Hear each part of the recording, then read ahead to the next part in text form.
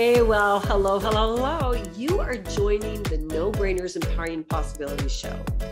Dialogues of encouragement with fresh perspectives, invitations to ahas, a little bit of science, and a dash of behavioral psychology, but a whole lot of creative fun. So if leveling up is on your radar, my friend, you are at the right show.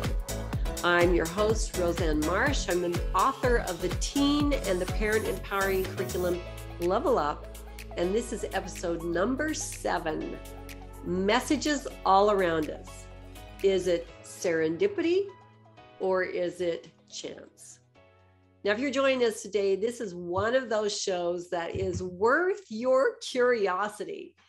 Would you look at life differently if you thought that the universe was sending you constant messages of encouragement, of love? How would your life be different if you began to see around you those serendipitous signs that gave you the out and out feeling that happenstance things in your life were being orchestrated for you? Would that not change the way you started viewing things? Well, here's your invitation to at least venture into that land of the curious and walk into the awe inspiring world of messages all around us. In this show, it's about inviting you to listen with curiosity and then do the next step if you desire. And that's start experiencing this for yourself.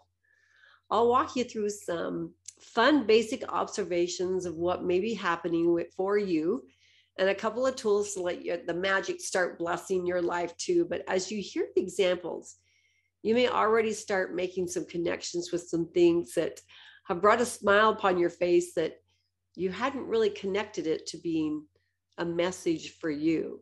But there are things out there cheerleading you, and hopefully, this will make you curious enough to start paying attention.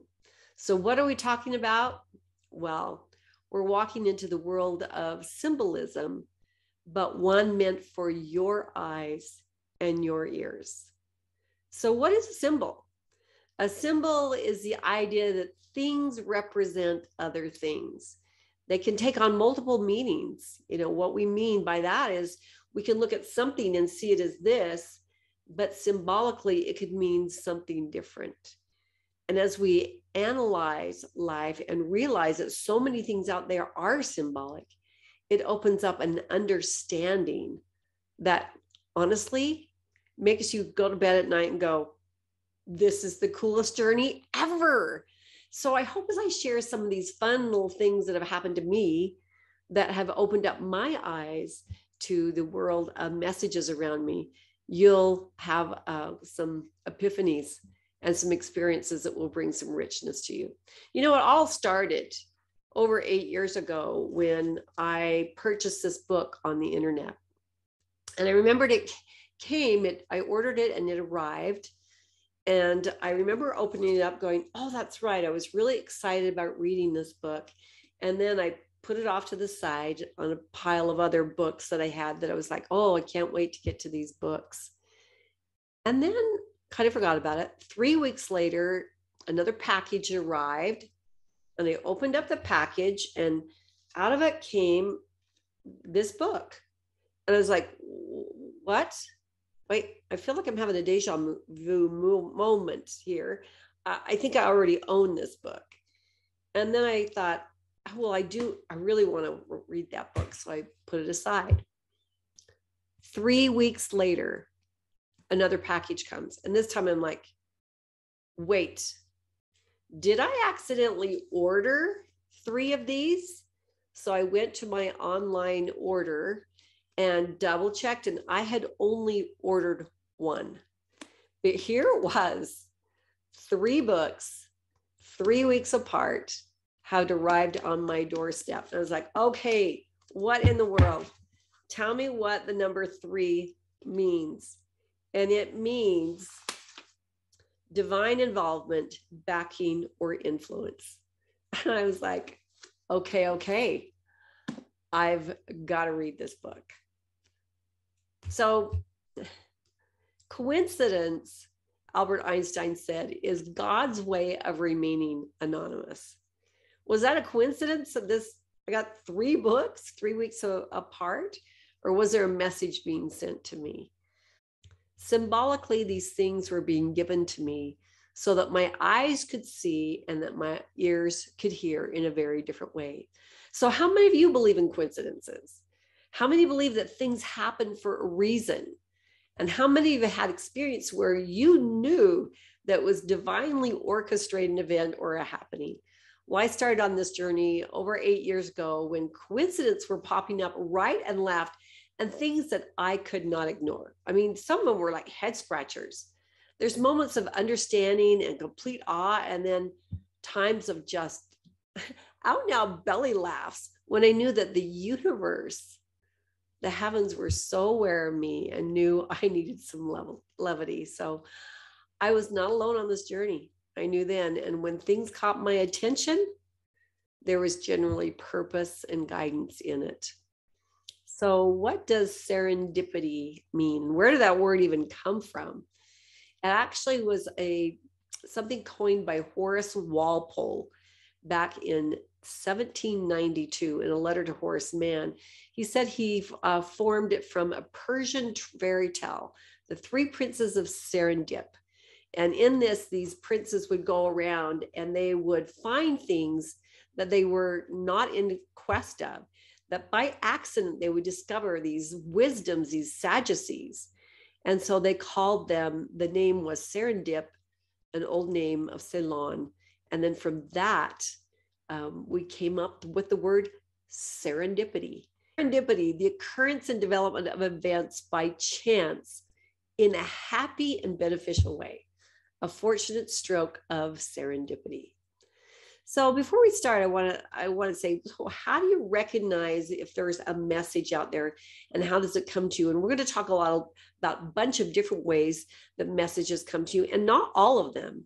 In fact, in next week's show, I have some real tangible hands-on of of a kind of a level two learning that I came about with a couple things. But first of all, how do you recognize a message? Well, it's something that gets your attention or it's something that repeatedly happens in your life and so you start paying attention to it or there's something that parallels or seems to parallel something that's going on in your life. Or a message means it's something that's recognizable to you or it's something that strikes you and just makes you smile and you paid attention to it. It could also be strong emotional reaction that you have to something that you go, okay, I'm going to pay attention here. It could be a reoccurring dream that you have, or it could be something that wakes you up in the middle of the night and you're thinking about it. But it's usually something that makes you say, this is by far the coolest journey ever to start realizing that things are multi layered and have different messages for us. What these messages or signs don't do, they don't predict the future. What predicts our future? Well, our actions and our decisions do. We are the predictor of our future. It's in, in our hands, in our mind, in our thoughts of how we proceed into life. And they don't necessarily provide answers, but they invite us to be curious. They invite us to investigate, but ultimately it's up to us to make decisions. So I want to clarify this is not soothsaying. These are messages that are there for our invitation, for our curiosity. So, what good are they? They're lessons, invitations, possible warnings to consider, affirmations, confirmations, reminders, nudges. They might be a piece of the puzzle that leads to the next piece. They may teach us traits or values. They point us in an upward direction. They invite us to a higher consciousness. And sometimes these messages just provide a good laugh. When we, we know we're not alone, we know that the universe, the heavens are whispering in our ear, they're paying attention to us. And if we pay attention, we'll see that they are actually communicating back to us. So, what are one of the ways that they can communicate to us? Well, one would be through numbers For example, how many of you ever see 1111 a lot? That seems to be one that I see quite a bit. In fact, I saw on November 11th at 11 11, I caught it and screenshot that number. It's it's interesting how my mind always goes to 11 11. Are you curious to know what 11 11 means? In fact, on 9 11 at 11 11, I got a screenshot of that. It said it's about intuition, insight, and enlightenment, awakening you on the right path. So, numbers, for those of you who are into numerology, they mean a lot of significant things. So, maybe you see 444 a lot. The number 444 can mean the angels are surrounding you now, reassuring you with their love and help. Don't worry because the angels' help is nearby. Or do you see 555? You know, buckle up your seatbelts Some major life changes about about you. This change should not be viewed as being positive or negative, since any change is but a natural part of life's flow. So 888, do you see, do you see zeros? There's so many different messages that come across in numbers. And maybe you see a combination of numbers. Maybe you see 121 or you always seen 542. Whatever your series of numbers is, look up on the internet. What does the five mean? What does the four mean? What does the two mean? And look at the, what that combination could mean. You could also say, well, and I do a lot of internet surfing where I just say, what is the spiritual significance of? And then it'll come up. So, like 542, if that's your number, what is the spiritual significance of 542? And it can tell you that. There are messages in these guys. I swear, you're going to have so much fun now that you're going, wait, I can look this up. There are others that understand the significance of numerology. One of the religious leaders of our area on November 20th of 2020 gave a speech at 11:11 for 11 minutes. And what was his message? His message was about gratitude. So, numbers is another way. Another way is birds and feathers. Have you ever had feathers that continue to show up? I have a friend that whenever something's significant or needs to know where to go, there seems to be a feather that shows up in her path. How many of you had birds fly nearby or cross in front of you or soar around you or sing to you? Those lovely fowls have a message for us. I have a falcon that periodically will follow me. I had wild turkey the other day, 15 of them in my backyard. And the leader, or supposed leader, came up and to the window as if to tell me a message and then turned around. And as you look at the significance of these animals, what is the what is the bird analogy? So I looked up the spiritual significance of wild turkeys. And it's all about grounding and being part of Mother Earth. And there are some other things that are a part of it. So that particular day, as I saw them right away, I took a moment to look it up to find out what the significance was. Sometimes I'll be driving down the street and there'll be certain birds that will cross. I was in the middle of a project and had taken far too long to get it done. And all of a sudden, a bunch of quail uh, went in front of my car. So I stopped right then and looked up the uh, and looked up the message for quail, and it said something about don't delay those things that are going to influence your future, uh, etc. Anyway, some to that point, but anyway, I got the point was, whoa, okay, get back on task. And here these little birds had come right in front of me years ago, I was in a ravine walking my dogs, and there were six ravens or crows that were cawing and squawking quite loud. And off the cuff, I said, Oh, of course, you guys are going to be here to ruin my walk. And all of a sudden, they took flight and started circling me as if I were their prey. And I thought it was in an Alfred Hitchcock movie for sure. They started diving me, and I thought for a second, maybe they're just feeding on insects that I don't see. So I walked brisker, deeper down into the ravine, but no, they followed me. And finally, I was just like praying for help, you know, uh, you know, fig- trying to figure out a way to save myself from these these crows. And when I got home, a friend of mine uh, laughed and she said, "Don't you know the significance of the crow? Look it up." So again, I looked it up, and it says it's about mystery and magic, but a reminder not to judge something for its appearance and not to judge other cultures, religions, beliefs, etc. So at that point in my life, I mean, I had judged these crows, and they're they're actually now my friends. I, I love them. They're all over uh, around my home.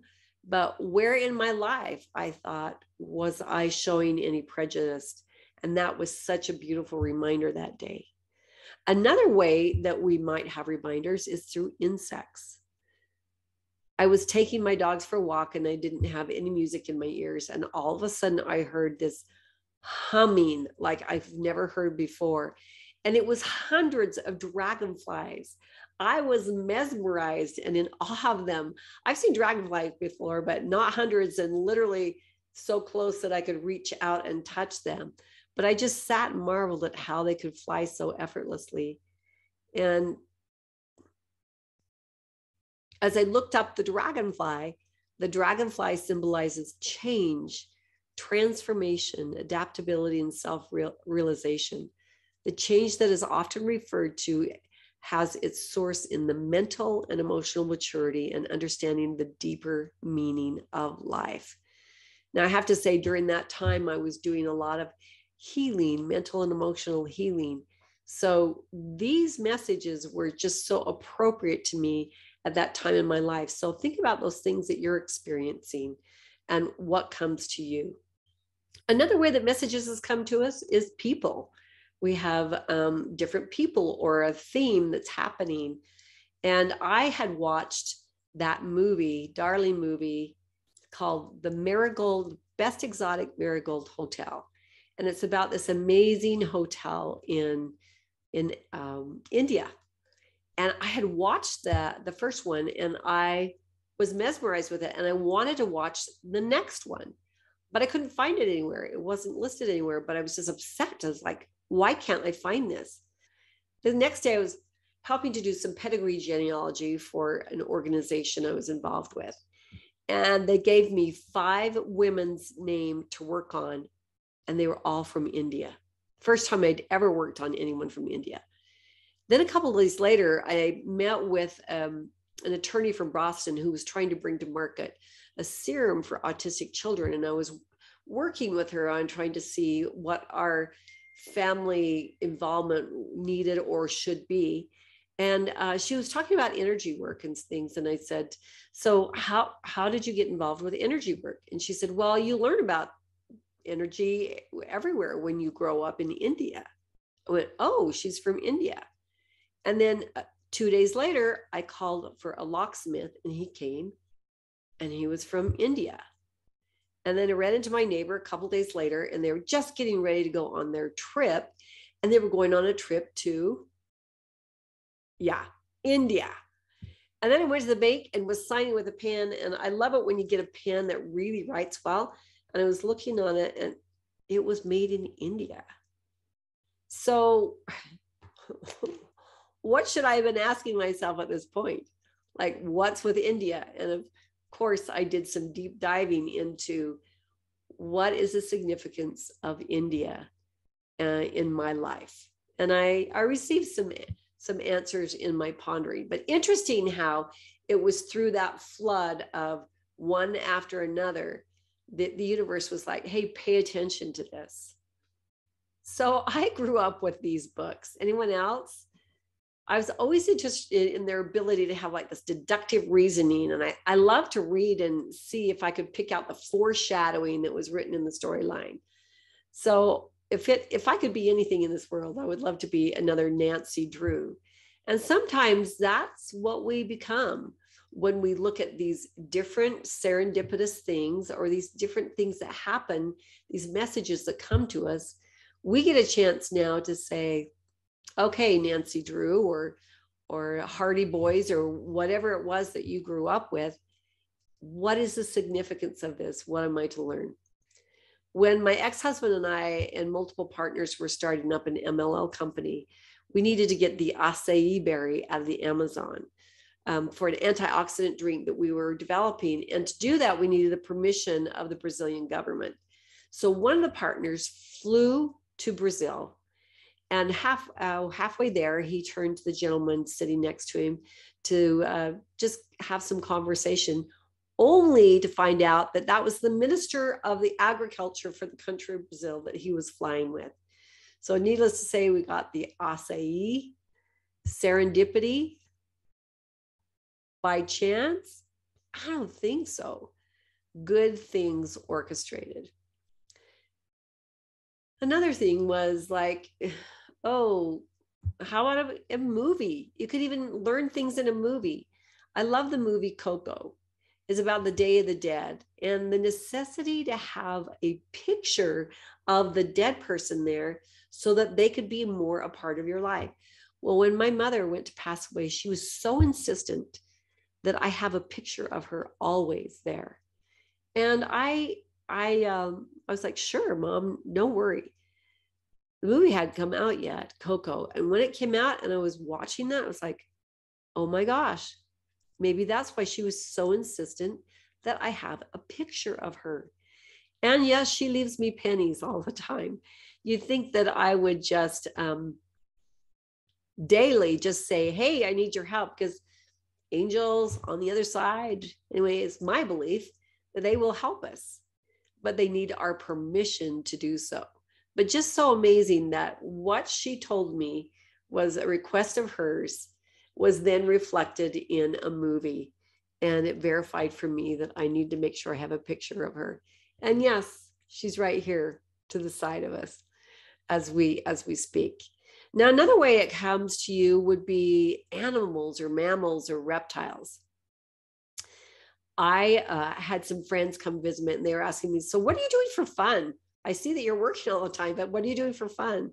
And I had to admit that it was kind of challenging for me to just drop things and run it was it almost felt better to stay behind and get the work caught up but i knew i needed to learn how to play and i was coming home one night along the main road that i drive and i thought it was a german shepherd in front of me and it was just standing in the middle of the road just staring and i stopped with my headlights there and it looked at me and i realized realized that's a co- coyote that's not a german shepherd that's a coyote so I quickly looked it up.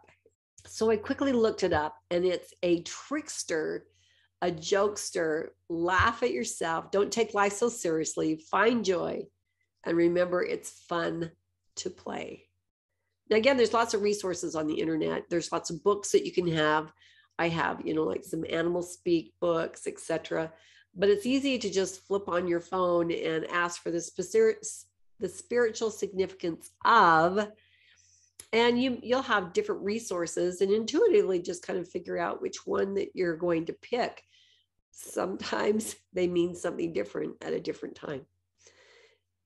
This last really poignant one happened on a spring break where i went with a friend to st george utah and our trip was called no more fear we were going to leave behind the things that we fear and i had identified of course my fear was snakes and her fear was, of course, heights.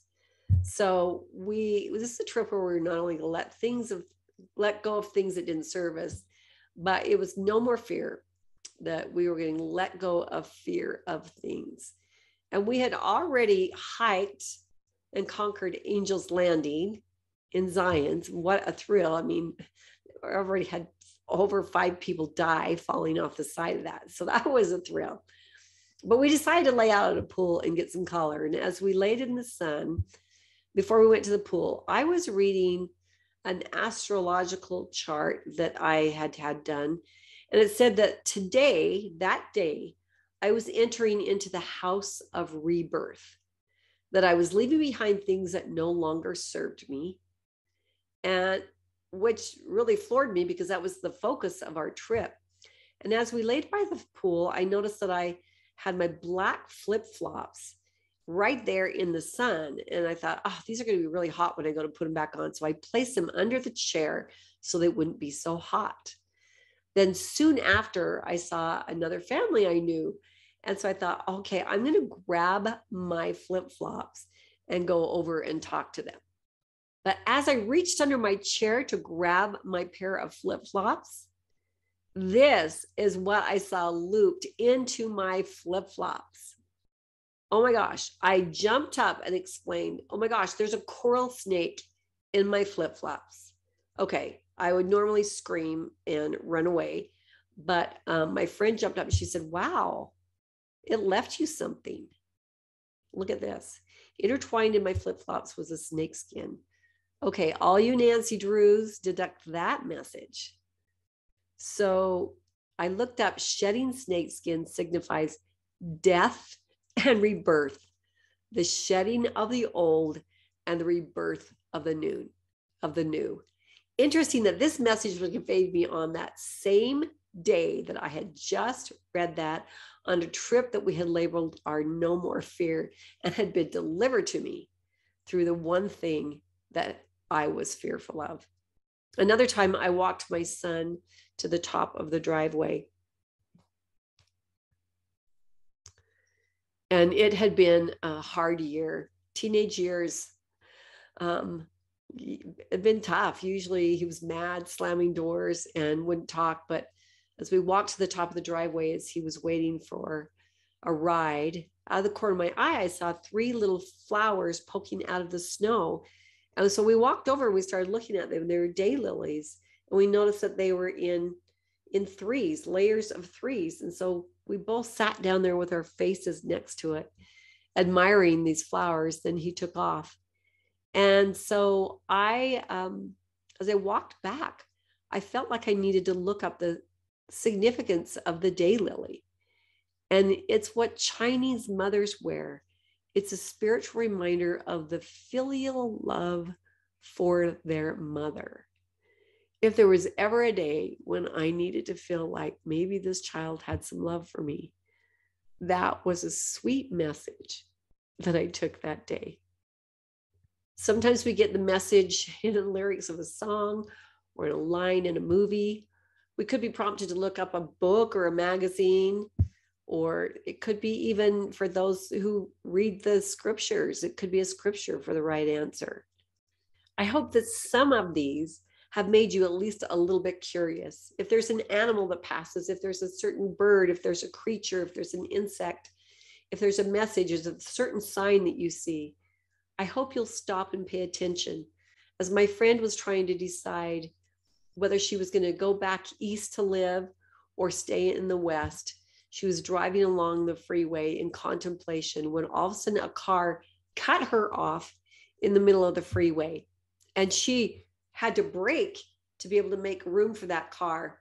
And look what was on the driver's license plate. If you could see that, she had the presence of mind to snap that picture. There are nudges and messages and orchestrations on our behalf, and we are not alone. The universe, angels are sending us messages all around us. So I invite you to think of some of the ways I have shared that I have experienced these messages and think about your own life. What have you noticed? What does the universe want to tell you? How can you pay a little more attention to see what are those personalized things that are not only serendipitous, they're not by chance, and it's a message just for your eyes and your ears. Okay, that's your invitation to go out there and be curious this week. And as always, remember, we're all creators. So let's go create something incredible this week. Thanks for joining me, you guys. Take care.